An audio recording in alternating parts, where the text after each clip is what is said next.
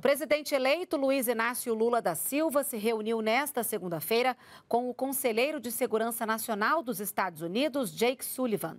Um dos temas da reunião foi o fortalecimento da democracia. E nesta terça-feira, os senadores da Comissão de Constituição e Justiça devem analisar a PEC da transição, que retira os recursos do programa de transferência de renda do teto de gastos do governo federal. Após a avaliação da CCJ, a PEC da transição deve seguir para votação no plenário do Senado já na quarta-feira.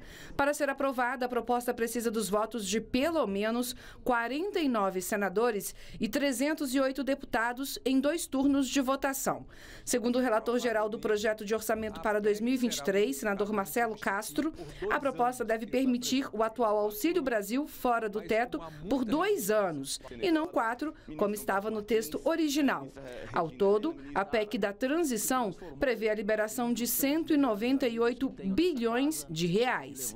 O valor como está hoje é excepcionalizando do teto de gastos o programa Bolsa Família, que são exatamente 175 bilhões de reais. E tem mais 23 bilhões de reais de investimento quando houver excesso de arrecadação. E nesta segunda-feira, o presidente eleito Luiz Inácio Lula da Silva recebeu o conselheiro de Segurança Nacional dos Estados Unidos, Jake Sullivan.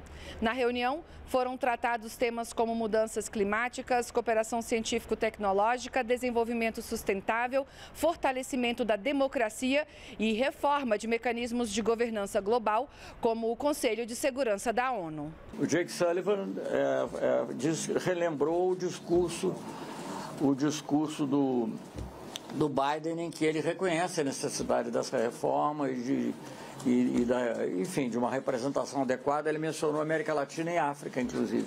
Em uma rede social, Lula afirmou que recebeu do Conselheiro de Segurança norte-americano um convite do presidente Joe Biden para visitar os Estados Unidos. A visita ainda não tem data para acontecer.